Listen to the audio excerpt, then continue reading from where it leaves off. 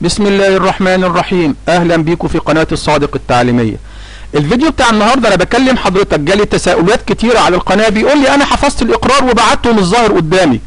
أقول له خش عرض الإقرارات وشوفه يقول لي دخلت عرض الإقرارات ومش لاقي الإقرار. طب دخلت على الإيميل وشفت فيه رسالة جات لك إن ال- الإقرار ده اتبعت ولا لأ وإنك تدفع الضريبة بتاعته لو كان عليه ضريبة يقول لي مفيش أي حاجة.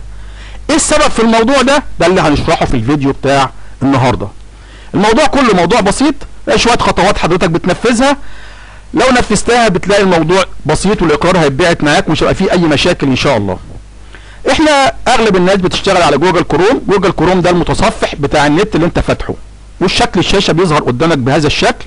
في هنا ثلاث نقاط في الجنب كده زي ما هو ظاهرين قدام حضرتك. بضغط عليهم. بيفتح لي بلاقي بيفتح لي الشاشة دي. في حاجة اسمها setting setting دي يعني إعدادات. setting يعني إعدادات. بديها كليكة.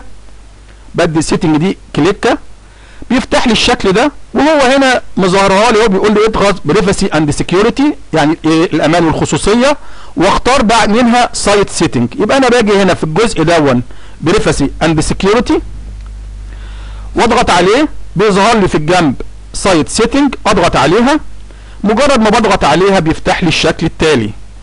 بلاقي هنا حاجة اسمها pop up تظهر قائمه أختار منها pop up بعلم على اللي عليها صح لو ما كانش متعلم عليها بتاعه pop up اللي ظاهرة قدام حضرتك دي. بعد ما بختارها بدوس عليها بيقول لي هنا بختار allow و add زي ما هي ظاهرة قدام حضرتك. هنا بختار الجزء اللي فيه allow والجزء وهنا أقول له إيه؟ add add يعني عايز يضيف الموقع. يبقى أنا بضيف الموقع ده موقع البوابة الإلكترونية اللي هو مكتوب قدام حضرتك serviceincometx.gov.eg وأنا هكتب كل ده؟ لا هوري حضرتك تعملها إزاي من غير ما تكتب؟ هاجي هنا هو هوري حضرتك إزاي تعملها؟ تاخدها copy paste وتحطها هنا وبعد كده تقول له إيه؟ تقول له add طب تجيبها منين؟ الموقع أهو. الموقع زي ما هو ظاهر قدام حضرتك أهو. كل اللي عليا إن أنا باجي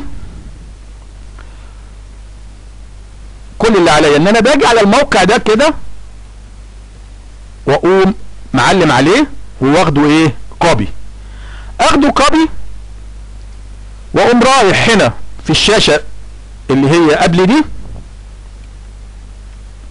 في هنا وأقول له paste يبقى أنا بجيب الكلام ده منين؟ من الموقع نفسه. أحدده المسار بتاعه أخده copy وأجي أحطه هنا paste وأقول له add مجرد ما إن أنا قلت له add بيقول لي إيه؟ بناء على هذه الخطوات افتح الإقرار مرة أخرى وارسل الإقرار وسيتم وسيتم الإرسال بنجاح. يبقى هنا بفتح الإقرار تاني وببعته وإن شاء الله هيتبعت مع حضرتك. ده بالنسبة للناس اللي شغالين على Google Chrome. طب الناس اللي شغالين على ال Firefox هي نفس الطريقة بس مع اختلاف الكلام اللي هنقوله. في Firefox مفتوح نفس الشكل بتاعك.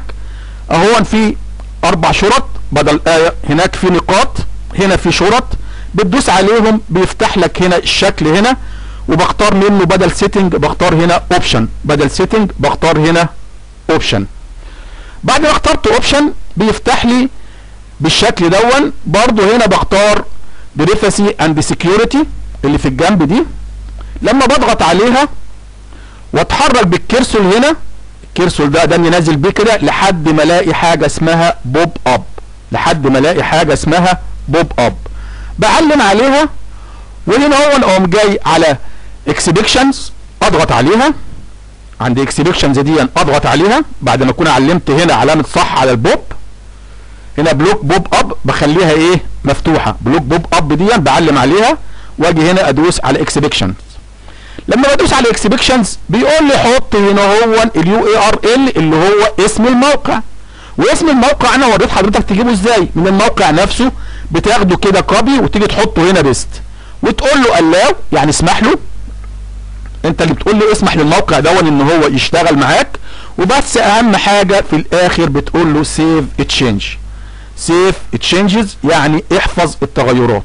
الكلام مكتوب قدام حضرتك أهو في نمرة خمسة؟ تظهر هذه الشاشة أكتب ال URL البوابه الالكترونيه ووريتك بتتجاب منين عشان ما تغلطش في حرف من اللي بيتجاب أو تنقلها زي ما هي كده هنا. وبعدين أضغط allow دي خطوة رقم 6 7 أضغط save change وبعد كده أفتح الإقرار مرة أخرى وأرسله وإن شاء الله سيتم إرساله بنجاح. لو عجبك الفيديو لا تنسانا من دعائك لأن ده شيء مهم جدا بالنسبة لي. والضغط على زر الجرس ليصلك كل ما هو جديد والاشتراك في القناة والسلام عليكم ورحمة الله وبركاته.